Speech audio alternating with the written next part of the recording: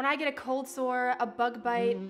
a burn, irritation from my mask, all I can think about is how I can get some relief and get rid of this thing for good. Not to mention how embarrassing it is having to go out and go to work with a cold sore sitting right on my face. Thankfully, relief is on the way.